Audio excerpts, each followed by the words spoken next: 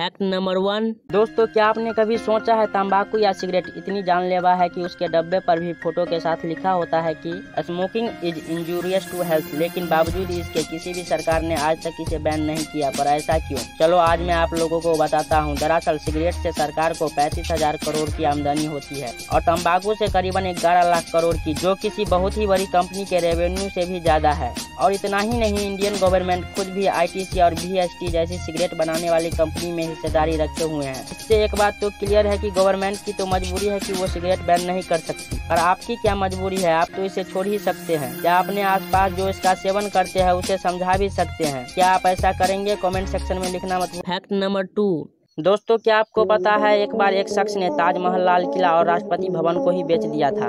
दोस्तों, ये बात है उन्नीस सौ अठहत्तर की, जब नेटवर लाल नाम के एक शख्स ने नकली गवर्नमेंट ऑफिसर बनकर ताजमहल, लाल किला और राष्ट्रपति भवन को एक फॉरेनर के हाथों बेच दिया था। दोस्तों, अब सवाल ये है कि नेटवर लाल ने ये सब किया कैसे? तो दोस्तों, नेटवर लाल किसी भी आदमी के हाथ के चाल को देखकर उनके सिग्नेचर को कॉपी करने में माहिर था और कहा जाता है कि उसने टाटा अंबानी जैसे कई बड़े बिजनेसमैन के सिग्नेचर को कॉपी कर लिए थे। इतना ही नहीं, उसने राजेंद्र प्रसाद, जो देश के राष्ट्रपति थे, उनके भी सिग्नेचर को कॉपी कर लिया था, जिसके मदद से उन्होंने बैंकों के साथ कई करोड़ों का घोटाला भी किया था।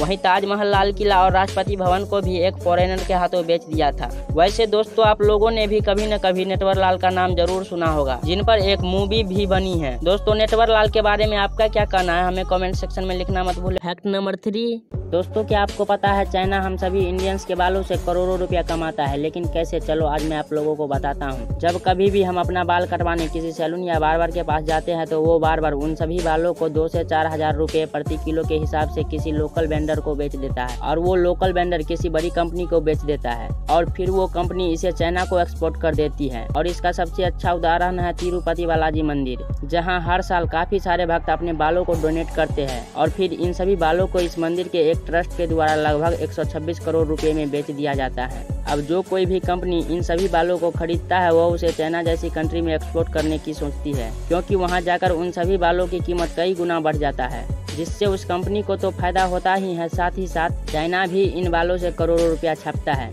दोस्तों क्या आप इससे पहले तक ये इंटरेस्टिंग फैक्ट जानते थे? कमेंट सेक्शन में लिखना मत भूल फैक्ट नंबर फोर दोस्तों किसी भी गाड़ी चलाते समय हेलमेट या सीट बेल्ट का न पहनना लाइसेंस का न होना और फिर उस पर भारी जुर्माना देना ये ट्रैफ़िक रूल तो सबको पता है। लेकिन आज मैं आप लोगों को ट्रैफ़िक के तीन ऐसे रूल बताने वाला हूँ जिसे जानने के बाद आप अपना जुर्माना और जेल जाने से बच सकते हैं। रूल नंबर वन अगर आपका चालान कोई कांस्टेबल काट रहा है और वो आपसे सौ रुपये से ज़्यादा ले रहा है तो आप उसे मना कर सकते हैं, क्योंकि एक कांस्टेबल की चालान काटने की लिमिट सौ रुपये ऐसी ज़्यादा नहीं होती। रूल नंबर दो, अगर कोई भी ट्रैफ़िक ऑफिसर आपका चालान पीयूसी यानी पोल्यूशन अंडर कंट्रोल पर आपका चालान काट रहा है तो आप उसे भी मना कर सकते हैं, क्योंकि पीयूसी पर चालान सिर्फ़ आरटीओ ऑफिसर ही काट सकता है। रूल नंबर थ्री अगर आप ट्रैफ़िक पुलिस के द्वारा पकड़े जाते हैं तो आपको कोई भी ट्रैफ़िक पुलिस ऑफिसर गिरफ़्तार नहीं कर सकता, क्योंकि गिरफ़्तार करने का अधिकार किसी भी ट्रैफ़िक पुलिस के पास नहीं होता। दोस्तों, क्या आप इससे पहले तक ये इंटरेस्टिंग रूल जानते थे? कमेंट सेक्शन में लिखना मत भूलिए फैक्ट नंबर फाइव दोस्तों इंडिया को अपना कच्चा तीबू आइलैंड श्रीलंका से वापस चाहिए। ये वो आइलैंड है जिसे साल उन्नीस सौ चौहत्तर में इंदिरा गांधी सरकार ने श्रीलंका को दे दिया था। लेकिन अब इंडिया को ये आयरलैंड वापस चाहिए। और इसकी क्या ज़रूरत पड़ गई? दरअसल ये आयरलैंड इंडिया के लिए बहुत ही ज़्यादा इम्पोर्टेंट है। स्पेशली हमारे भारत के मछुआरों के लिए जिसकी पूरी की पूरी ज़िंदगी ही यहाँ से आई मछलियों पर डिपेंड करती है। लेकिन ब्रिटिश के एक रूल के हिसाब से साल उन्नीस सौ चौहत्तर में एक एग्रीमेंट साइन हुआ था जिसके बाद ये आयरलैंड श्रीलंका का हो गया। पर श्रीलंका ने इस चीज़ का गलत फ़ायदा उठाया और इंडिया के लोगों को ही यहाँ आने से बैन कर दिया गया। इतना ही नहीं, यहाँ आने वाले सभी मछुआरों को गिरफ़्तार भी कर लिया गया। इसीलिए अब तमिलनाडु की गवर्नमेंट ऑफिशियली श्रीलंका से ये आयरलैंड वापस करने की डिमांड की है। और वैसे भी इंडिया ने श्रीलंका को दो मिलियन डॉलर से भी ज़्यादा का लोन देकर भले ही उसकी बहुत ही ज़्यादा मदद कर चुकी है। लेकिन दोस्तों, आपको क्या लगता है, श्रीलंका इंडिया को ये आयरलैंड वापस करेगा? कमेंट सेक्शन में लिखना मत भूले और प्लीज़ चैनल सब्सक्राइब कर ले।